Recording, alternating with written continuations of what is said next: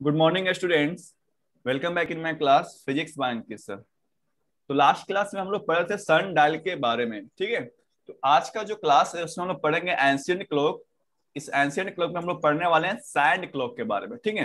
तो काफ़ी इंटरेस्टिंग ये क्लॉक है सैंड क्लॉक किस तरह से काम करता है क्या स्ट्रक्चर है इसके बारे में आज हम लोग सीखेंगे ठीक है? तो देखिए सबसे पहले सैंड क्लॉक का पिक्चर देखते हैं. सैंड क्लॉक के पिक्चर में आपको देख रहा होगा कि देर आर टू चैम्बर ठीक है? आपको सैंड का दो चैम्बर दिख रहा है। ऊपर वाले चैम्बर को बोलते हैं अपर चैम्बर और नीचे वाले चैम्बर को बोलेंगे लोअर चैम्बर लोअर चैम्बर ठीक है? देखिए सैंड जो है एक चैम्बर में फिल रहता है और एक चैम्बर से दूसरे चैम्बर में जाता है। ठीक है? सैंड क्लॉक में जब एक चैम्बर है उसमें सैंड को फिल कर दिए। बिल्कुल फाइन सैंड ठीक है? बिल्कुल फाइन सैंड महीन सैंड होना चाहिए। कोर्स नहीं मोटा नहीं बिल्कुल फाइन सैंड ठीक है? इस चैम्बर को इस चैम्बर को कनेक्ट करता है? छोटा सा पिन होल यहाँ पर क्या? छोटा सा पिन होल अब इसमें amount of sand amount of sand बताता है कि कितना टाइम में अपर चैम्बर से लोअर चैम्बर में जाएगा। ठीक है? अगर अमाउंट ऑफ़ सैंड ज़्यादा है तो इसको सपोज़ टू आवर लगेगा। अगर अमाउंट ऑफ़ सैंड कम है तो हाफ़ आवर भी लग सकता है ठीक है? तो डिपेंड्स करता है कि कितना अमाउंट ऑफ़ सैंड है कितना बड़ा चैम्बर है उसके अनुसार ये टाइम बताता है ठीक है? तो टाइम कैसे हम मेजर करते हैं? हम जितना भी सैंड इसमें डाले हैं तो अपर चैम्बर से जितना भी सैंड लोअर चैम्बर में जाने में कंप्लीट ये सारा सैंड नीचे आ जाएगा ना धीरे धीरे ठीक है। तो yes, जब sir. जब सारा सैंड अपर चैम्बर से लोअर चैम्बर में आ जाएगा तो उस टाइम इंटरवल को हम लोग नोट डाउन कर लेते हैं और इस तरह से उस टाइम इंटरवल को फिक्स टाइम इंटरवल को हम लोग टाइम मेजर करने के लिए यूज़ करते हैं ठीक है? तो इस तरह से क्या काम करता yes, है? सैंड क्लॉक क्या काम करता है? सैंड सैंड क्लॉक अब अगर पूछेगा आपसे कि हु इन्वेंटेड सैंड क्लॉक तो इसका आंसर होगा रोमन्स कौन यूज़ किए थे? रोमन्स सबसे पहले रोमन्स ने है। जो सैंड क्लॉक को इन्वेंट किए थे ठीक है? तो ये क्वेश्चन आ सकता है कि हु इन्वेंटेड सैंड क्लॉक तो आप बोलेगा about two thousand years ago Roman use first sand clock first कौन यूज़ किए थे? रोमन्स यूज़ किए थे ठीक है? सेकंड पिक्चर में देखिए इसमें मोस्ट ऑफ़ द सैंड क्या हो गया? अपर चेम्बर से लोअर चेम्बर में चला गया है ठीक है? अब देखिए जैसे ही जो अपर चेम्बर से लोअर चेम्बर में सारा सैंड आ जाएगा तो अपर चेम्बर क्या होगा? इम्पिटी हो गया। तो अब क्या करेंगे? अब हाँ। फिर से हमको टाइम निकालना है। तो इस पूरे के पूरे सैंड क्लॉक को रिवर्स कर देंगे। सैंड क्लॉक को क्या कर देंगे? रिवर्स मतलब कि उल्टा कर देंगे। उल्टा, उल्टा, अब ये लोअर चेम्बर बन जाएगा अपर चेम्बर अपर चेम्बर बन जाएगा लोअर चेम्बर तो इस तरह से इजिली इजिली एंड कन्वेंशियली हम कहीं भी इसको यूज़ कर सकते हैं। ठीक है? किसको? सैंड क्लॉक को। चलिए इसका थ्योरी देखते हैं। क्या है थ्योरी इसका?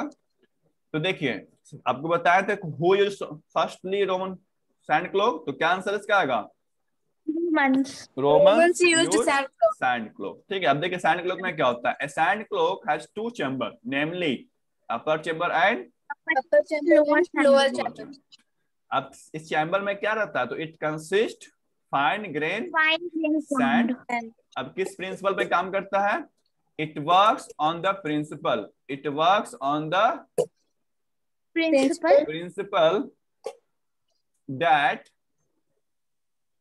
all the sand all the from all the sand falls into the lower chamber. lower chamber in a fixed time interval. ठीक है फिक्स टाइम इंटरवल में क्या होता है? ये फॉलो होगा। इसी फिक्स टाइम इंटरवल को हम लोग नोट कर लेंगे और इसी फिक्स टाइम इंटरवल को हम लोग बार बार यूज़ करेंगे इतना टाइम होने के लिए। ठीक है?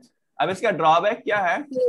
तो ये जो ड्रॉबैक है the only drawback of sand clock is that it is used for a small time interval इससे हम लोग एक दिन का टाइम नहीं निकाल पाएँगे। One hour two hour three hour इस तरह से स्मॉल टाइम इंटरवल को हम लोग मेजर कर सकते हैं। ठीक है? और ये टाइम नहीं बताता है कि तीन बज गया चार बज गया पाँच बज गया। ये सिर्फ़ बताता है कि दो घंटा हो गया।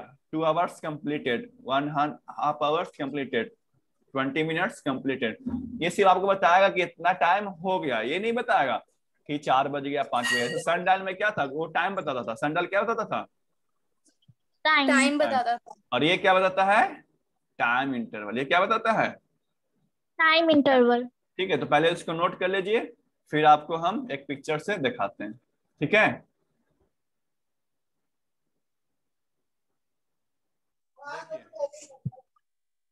इस पिक्चर में देखिए क्या है ये? अपर चेंबर है ना? अपर चेंबर से सैंड फॉल किया किसमें? लोअर चेंबर में। ठीक है? अपर चेंबर से सैंड फॉल किया किसमें? लोअर चेंबर में। अब जैसे ही लोअर चेंबर में सारा सैंड फॉल हो गया, इसको क्या कर दिए हम? रिवर्स कर दिए। तो लोअर चेंबर अब बन गया क्या? अपर चेंबर और अपर चेंबर क्या बन गया? लोअर चेंबर ठीक है? तो इस तरह से साइन क्लोक टाइम इंटरवल्स को क्या करता है? मेजर करता है। आया समझ में? बोलिए।